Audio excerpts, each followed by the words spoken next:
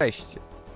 W dzisiejszym filmiku pokażę wam jak w tą oto obudowę od Nintendo SNES wsadziłem mini komputerek Raspberry Pi Zero W i przerobiłem go na retro komputer. Zapraszam. Pierwszym krokiem jaki podjąłem było rozebranie obudowy Super Case, Super P Case do Raspberry Pi 3B+. Oraz wyciągnięcie wszystkiego, co mogło mi się w jakiś sposób przydać z bebechów dawnego SNESa.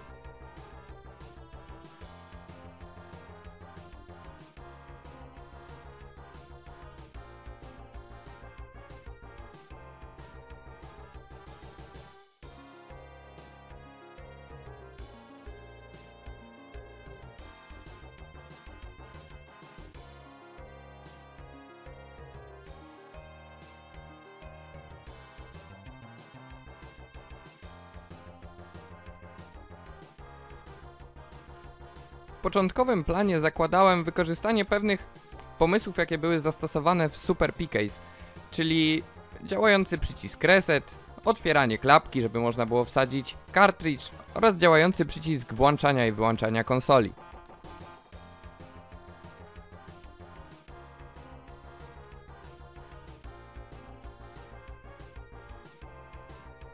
Dodatkowo jeszcze na samym początku tego projektu myślałem nad zastosowaniem oryginalnego wyjścia na pady do konsoli SNES.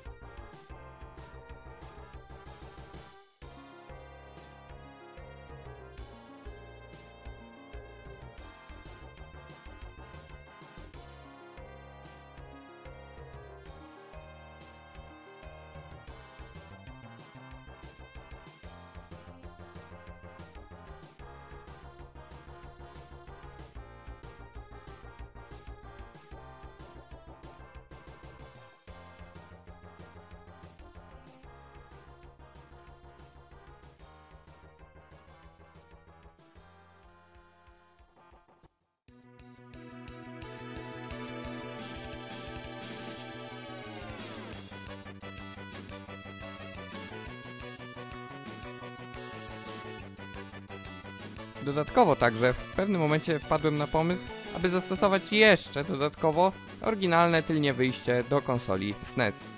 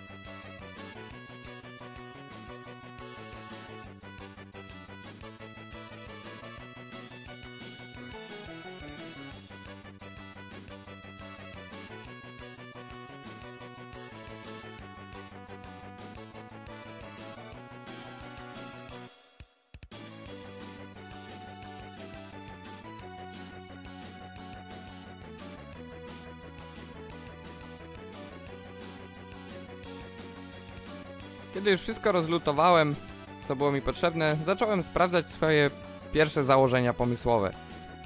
Raspberry Pi 3B Plus miało siedzieć z tyłu i umożliwiać wyjścia do USB i do Ethernetu. Dlatego zająłem się poprzez rozlutowanie plastiku, abym mógł w oryginalną tylnią zaślepkę wsadzić USB i port LAN z Raspberry 3B Plus.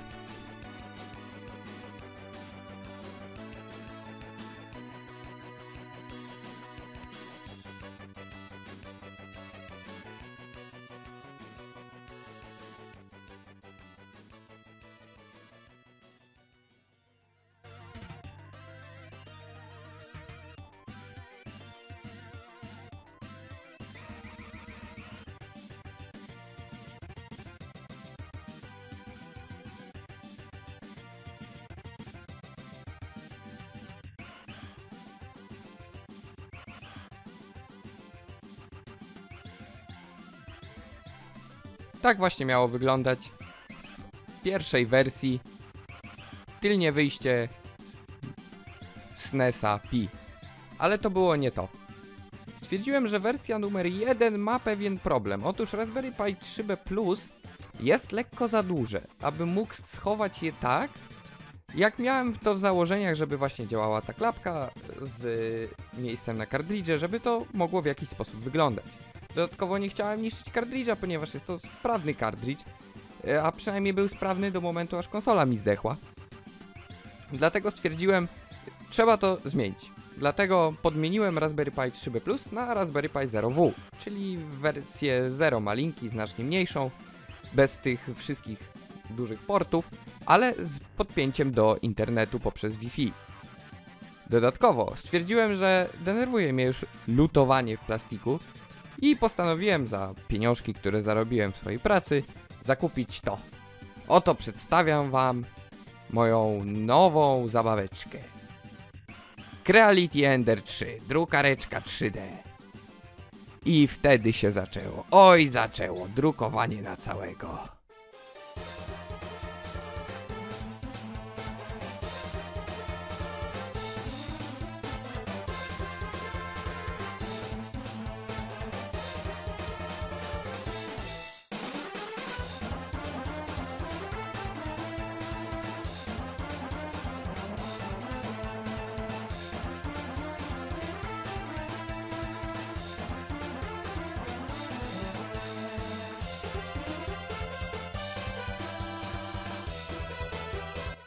Po wydrukowaniu wszystkich obudów, przejściówek, tylniej płytki, przedniej płytki, ponieważ zarzuciłem pomysł z oryginalnymi padami, bo wymagałoby to mieszania w BIOSie odpowiednich kabli, a to miał być szybki projekt na takie wieczorne popołudnia oraz żeby jak najmniej kosztował. Już i tak moim wydatkiem było zakupienie drukarki, która jako tako mi się zwraca, bo nie muszę lutować w plastiku i się po prostu nie, nie truję już. Ale także chciałem zastosować wszystko, co walało mi się gdzieś po szafkach, jakieś kable, kabelki i tym podobne rzeczy.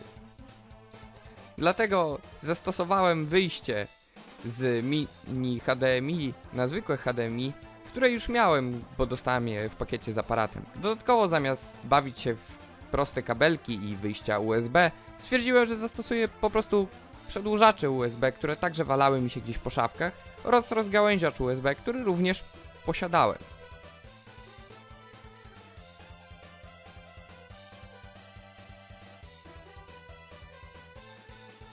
Następnym krokiem było zbutowanie karty microSD i wgranie na nią systemu RetroPie dla malinek 0 i 1.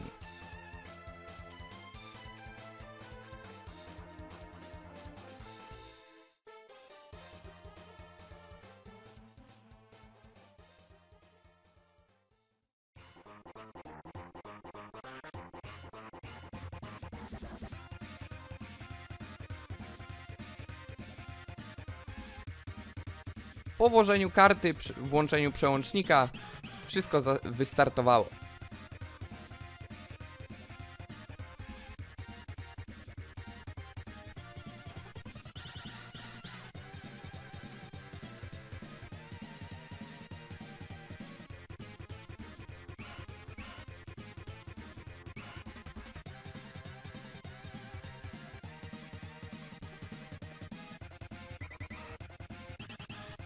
Kiedy wszystko już działało, przystąpiłem do skręcania konsolki. Oryginalnie konsole Nintendo są poskręcane na jakieś takie dziwne gwiazdkowe śruby. Od razu je wywalcie i wsadźcie zwykłe Philipsy, jeżeli będziecie powtarzać coś podobnego.